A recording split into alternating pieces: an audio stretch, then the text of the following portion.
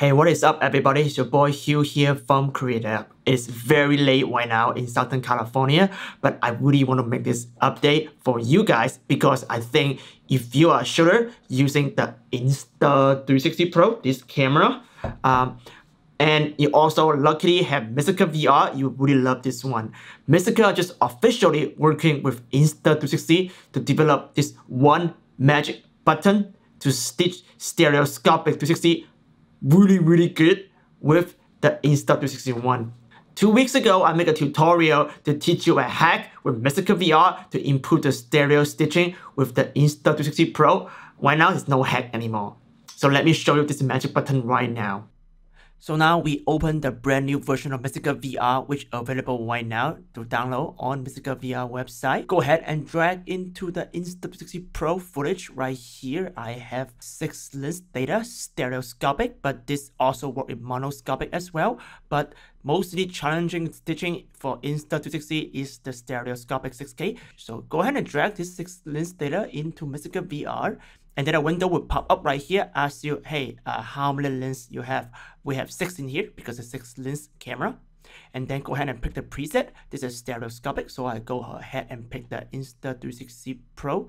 This profile, if you have mono, you pick this one. So go ahead and pick the stereoscopic preset and go ahead hit open and then continue. Mistika VR load into the footage. In mono, it look like pretty great, but actually if you zoom in, how can you find out what which is the best stereo, which is a good stereo? So in Mistika, yeah, we are right here in the no stereo right here. If you pick um, black and white anaglyph, and then if you zoom in, like you see that from the distance, this should not have parallax or have a minimum parallax. This should not have parallax, and you know makes things really really bad. That is a really bad stereoscopic because you have vertical parallax in a distant object, uh, which this would get people like pretty sick if you have this kind of footage. Well, how to fix that?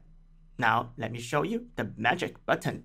So right here on the stitch, and then this brand new use Insta360 Pro calibration, hit that, pay attention, boom.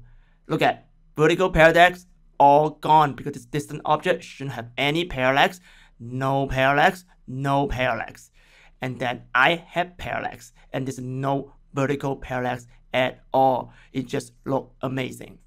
So go ahead, look at Anaglyph, also the same.